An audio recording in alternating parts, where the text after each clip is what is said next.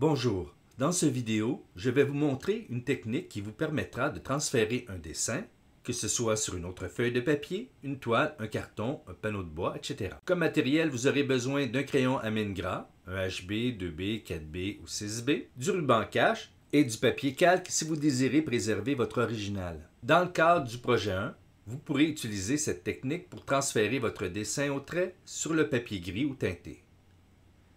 J'ai donc ici mon original.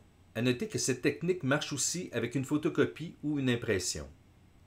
Le principe est simple. On va noircir l'endos du dessin avec un crayon, positionner la feuille sur le nouveau support et retracer le dessin.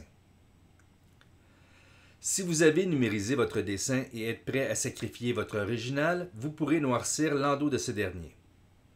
Dans mon cas, je vais plutôt préserver mon dessin. Je vais donc le retracer sur un papier calque.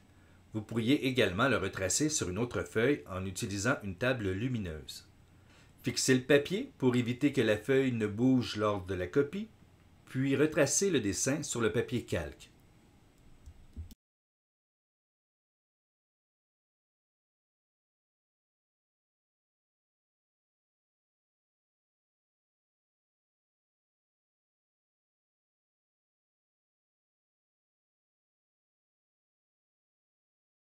Je vais maintenant retourner mon papier calque et noircir l'endos du dessin sur le papier calque. Si vous partez de votre original, noircissez l'endos de celui-ci.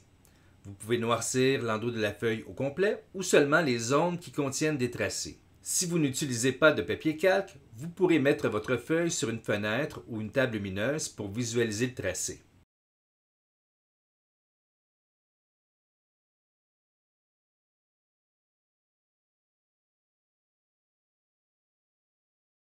Une fois terminé, vous positionnez la feuille avec le dessin sur le nouveau support, le côté noirci face au support.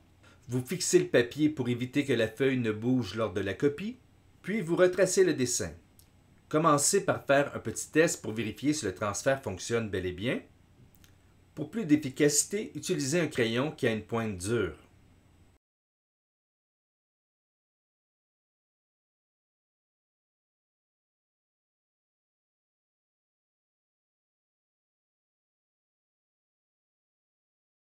Et voilà le résultat.